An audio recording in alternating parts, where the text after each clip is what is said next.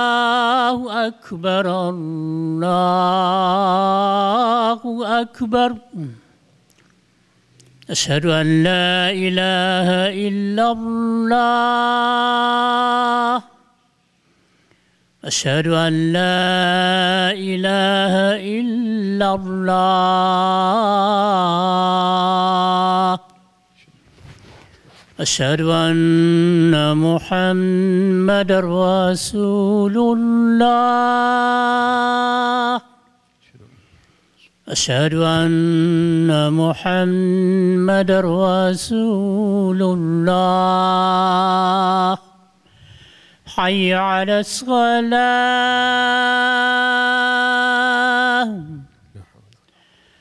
حي على الصلاة.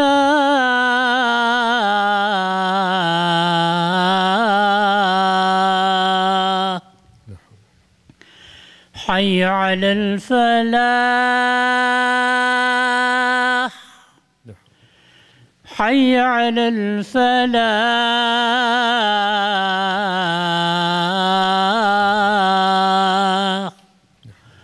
الله أكبر الله أكبر. لا إله إلا الله. لا إله لا إله أعوذ بالله من الشيطان الرجيم. بسم الله الرحمن الرحيم. الحمد لله رب العالمين. والصلاة والسلام على أشرف الأنبياء وأطهر المرسلين شفيع المذنبين وحبيب رب العالمين محمد صلوات ربي وسلامه عليه وعلى آله وصحبه الطيبين الطاهرين. إن الحمد لله نحمده ونستعينه ونستغفره ونستهديه ونعوذ بالله من شرور أنفسنا وسيئات أعمالنا. من يهده الله فلا مضل له ومن يضلل فلا هادي له.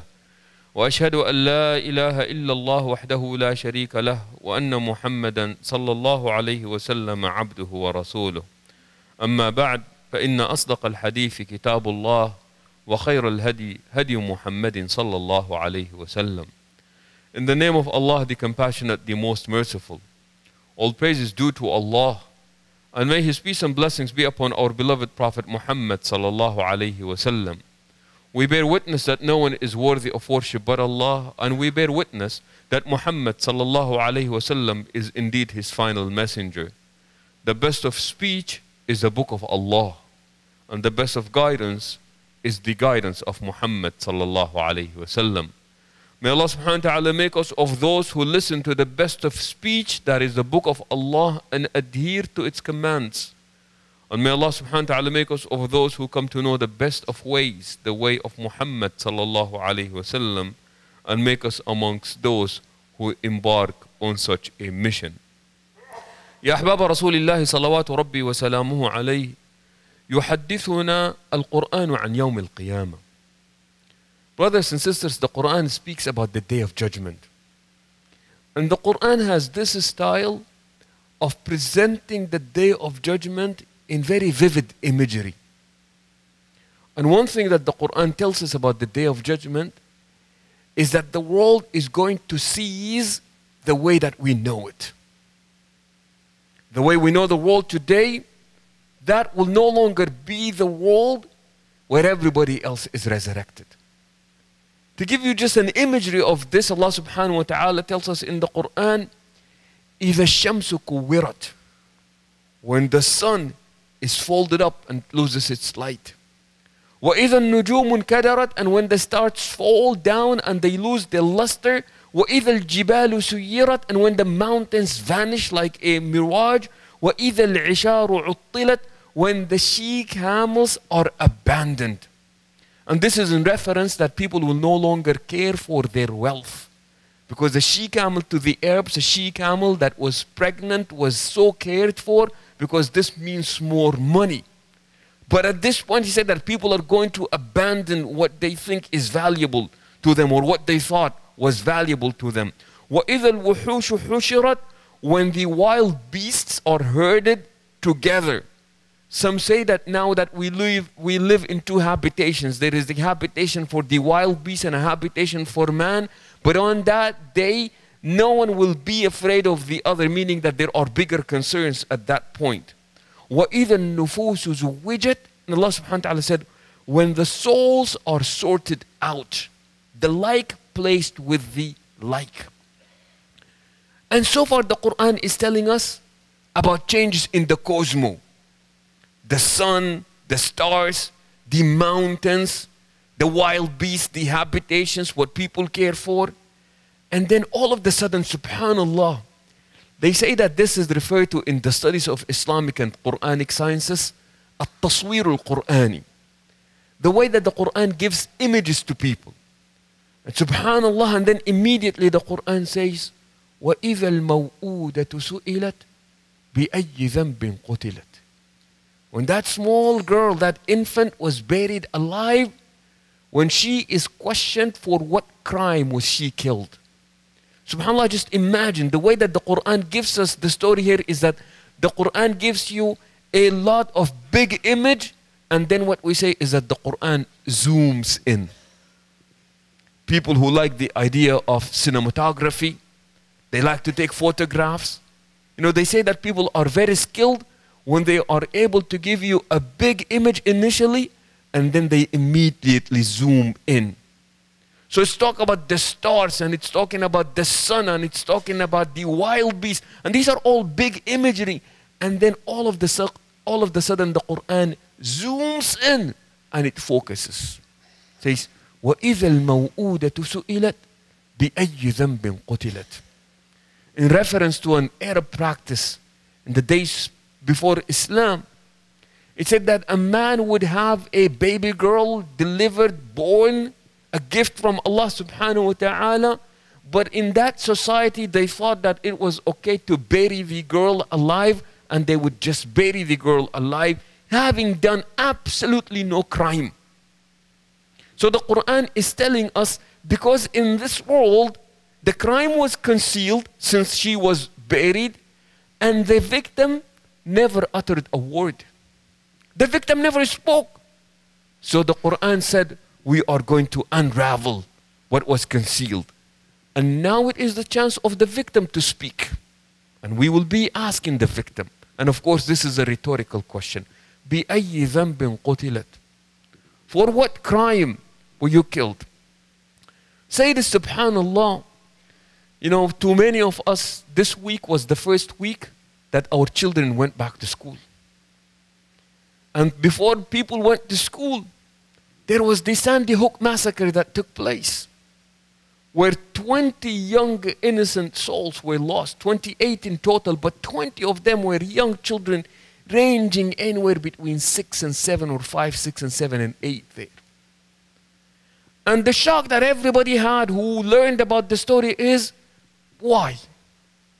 As if we are all echoing what the Quran is telling us بأي ذنب قتل this small soul this young innocent soul بأي ذنب قتلت what crime was that soul guilty of and subhanallah as a parent you know there are two safe places for us home or school and we like the idea of taking our children to school and the last thing that we really worry about is that I would not want to receive a phone call that your son or your daughter got into a fight or somebody got sent to the principal's office this morning. And you know, these are the things that we are concerned about. But never in our wild thoughts we would think that I will receive a phone call from the school and say that your son is just being killed. Father was telling me this morning, he said, Now every morning I go to drop my daughter to school. He said that there is a police car waiting it's an elementary school. Can you imagine, subhanAllah, a police car to guard an elementary school? And as if it's becoming very fashionable, what happens is that yesterday similar stories took place. The day before in Arizona, somebody has made threats on Facebook, and now schools are no longer becoming a safe place for our children. May Allah subhanahu wa ta'ala protect all of our children, Ya Rabbil Alameen. But in the midst of this, I like to point out to three things, please. Number one, the way we invoke God when such a tragedy takes place. So some people are giving their explanation as to what happens. So somebody who was running for the presidency of the US, he actually spoke out and he said, the reason why there is so much violence in our schools is because we have taken God out of a school. And with all due respect, and we love our creator, Allah subhanahu wa ta'ala. But to say that violence is taking place simply because the name of God is not mentioned in the place where the violence took place, that is very problematic. Because few days back, 115 people were killed in Pakistan because they were Shia and supposedly they were uttering the name of God. Here, they were saying the name of God. How come they got killed? If we think that we explain violence because of the absence of the mentioning of the name of God or Allah, then how do you explain the number of Sunnis who are killed in the masjid or the number of Shiites who are killed in the masjid? How do you explain this? Or people who would look into such a tragedy and say, they deserve it. Do you know what these people did to the Iraqi kids? Allah is punishing them. Subhanaka ya Rabbi. Allah is punishing them through killing children. Are you serious? You have to be morally sick to think this way. Wallahi, you have to be morally sick to think this way. And there is nothing religious about this. To actually say this is known as blame the victim theology. The victim is dead, but they're dead because of their own fault. Allah is punishing them. Allah is punishing them through killing children. Is this really the kind of a God that we worship? A'udhu billah, wallahi, if it pleases God that children are, are to be killed this way, this is not a God that is worthy of worship. Wahasha. Far be it from Allah subhanahu wa ta'ala that these are the kind of thoughts that Allah subhanahu wa ta'ala wants us to have about Him subhanahu wa ta'ala That God would actually take pleasure in seeing something like this. No, subhanallah, a similar story was told. Imam al-Qurtubi narrates the story that one time a Bedouin came to the Prophet sallallahu alayhi wasallam. قال يا رسول الله إني أذنبت في الجاهلية ذنبا he said, O Messenger of Allah, before my Islam, I just made this big sin. He said, What happened? He said, I was married to this woman and she was pregnant.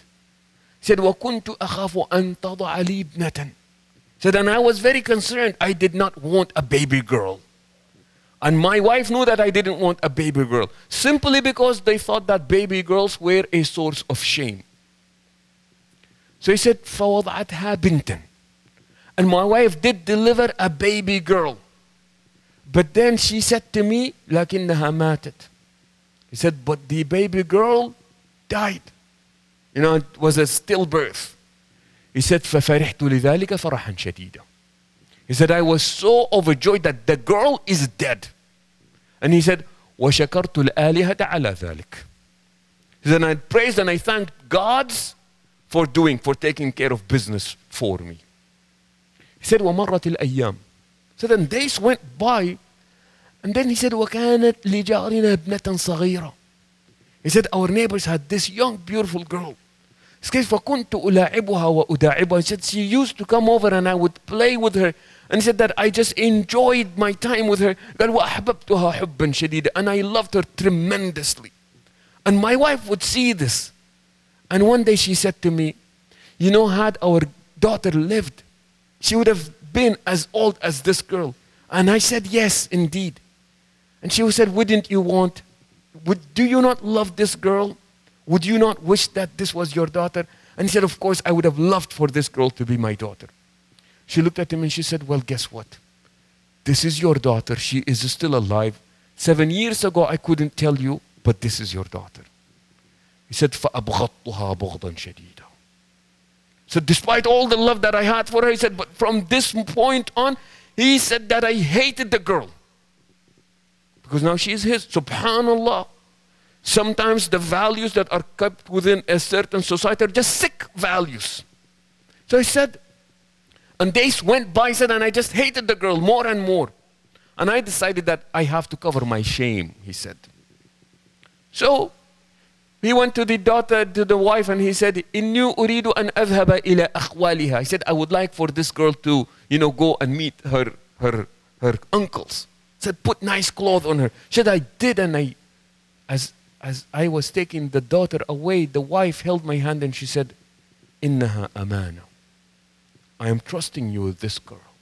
That I took her and then on the way, said I saw a bitter a well, and I decided this would be it. He said I took the girl and drowned her in the well.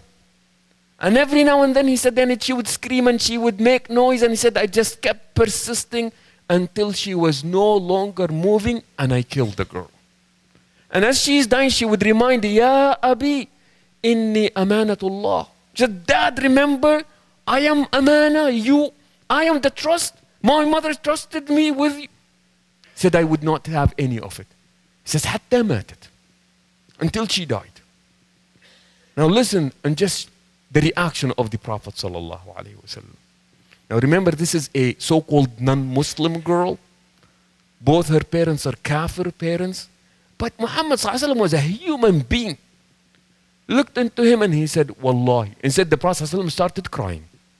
Uncontrollably. He said, Wallahi. لو أمرني ربي أن أعاقب أحدا بذنب أذنبه في الجاهلية لكنت أول من أعاقب. He said, by Allah, if Allah permits me or gives me the command to punish somebody for a sin that they have done in their pre-Islamic days, he said that you would be the first in my court. You would be the first in my court. Because brothers and sisters, al-Muslim insani. A believer is one that feels for all.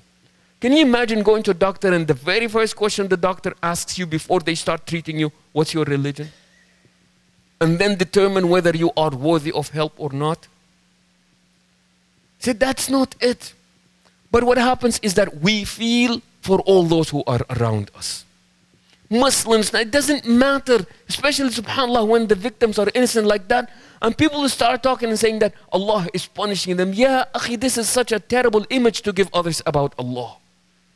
That's why Sayyidina Umar used to tell people, يا أيها الناس لا تبغضوا الله إلى خلقه ولا تبغضوا خلق الله إلى الله. Do not be the cause for people to hate and despise Allah and be hated and despised by Allah.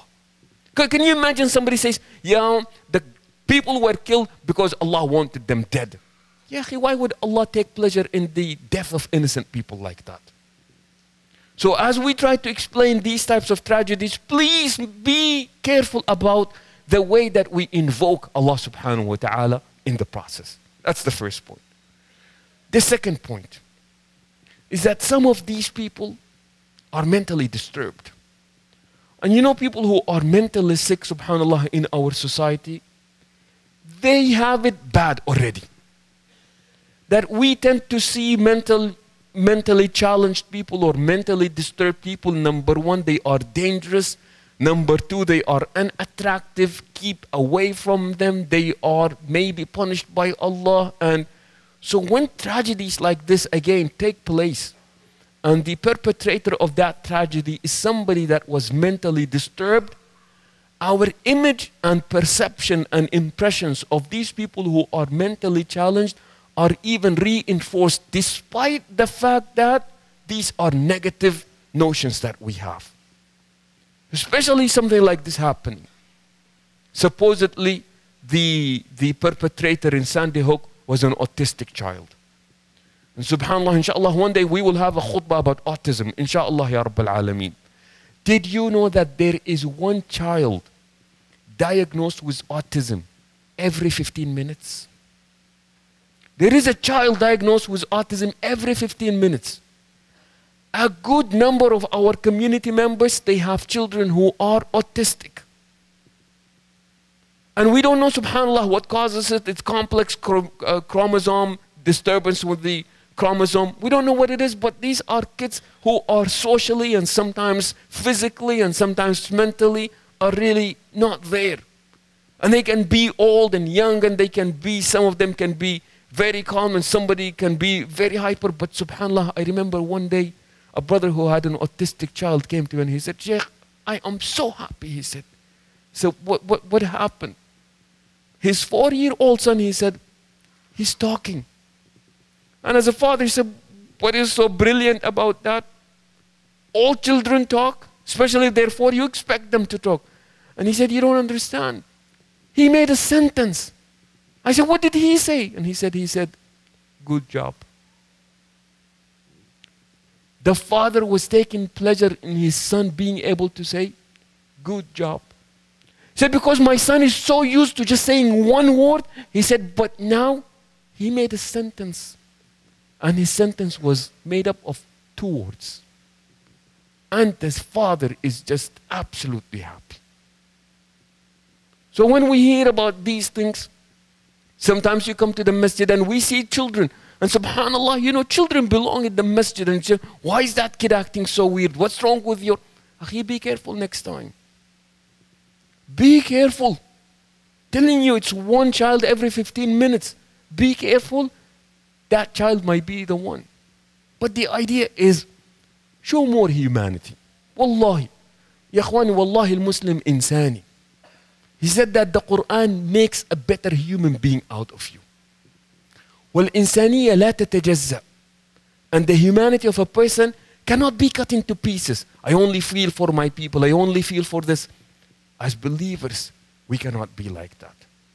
May Allah subhanahu wa ta'ala increase us in understanding يا رب العالمين. أقول قولي هذا وأستغفر الله لي ولكم فاستغفروه إنه هو الغفور الرحيم.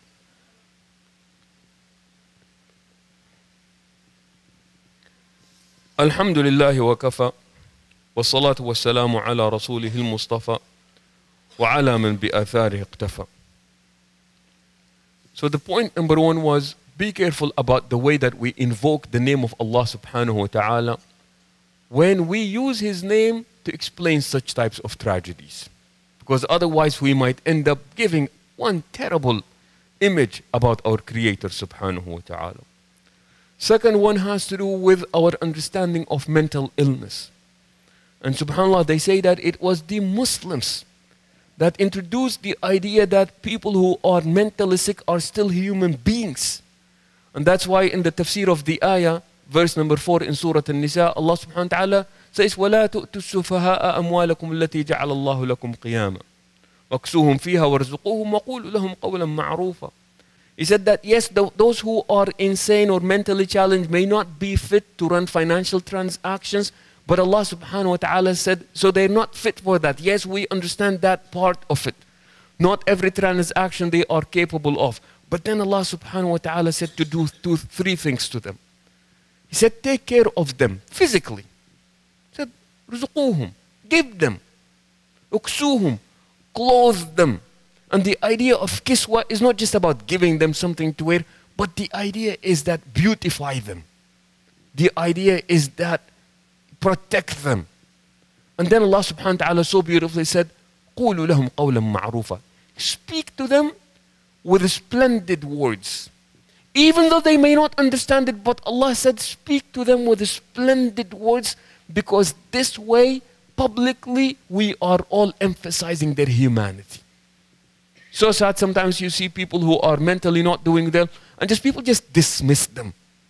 And people just disregard them, drop them. The Quran said, no, no, no, you cannot do that. Rather, to the very contrary, Allah subhanahu wa ta'ala said, قولوا لهم قولا معروفا. Speak to them with splendid words. Thus are the teachings of the Quran and the teachings of Muhammad sallallahu alaihi wasallam. So, inshallah, it is very important that we help out organizations, institutions that actually care for the people who are challenged within our community. The kid yesterday in Taft High School in California, supposedly he was bullied by children. And that is why he took a shotgun to school and he just wanted revenge. Bullying is a serious problem in our community. When I say our community, I'm not talking about the Muslim community. I'm talking about the schools where our children go. I'm talking about where we live. I'm talking about all these issues. Brothers, you cannot just look at these issues and say, these are issues that belong to the kafirs. These are issues that only belong to white people or the blacks or the Latinos. That is just silly. That is silly. If it is happening here, it is happening to us as well. And our job is when we see these issues, we actually fix, not curse them. Isn't that the whole idea of in uridu illa al-islah mastata'at? That all I care for is rectifying, mending, and beautifying and fixing. So inshallah, that's what we're after and that's what we're here for. And one of the organizations that are really doing a marvelous job in our area that is worthy of all the help and the support that we can extend is Access California. And I know that every now and then we come and we remind you about all the services that Access extends to the community. Number one is please, number one is make sure that you make use of the services that are provided.